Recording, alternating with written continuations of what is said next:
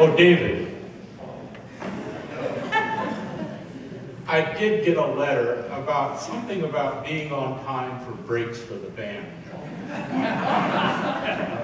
We want to correct that, David, I'm sure. You want what you asked for for Christmas. Okay, I just wanted to mention that. Very well.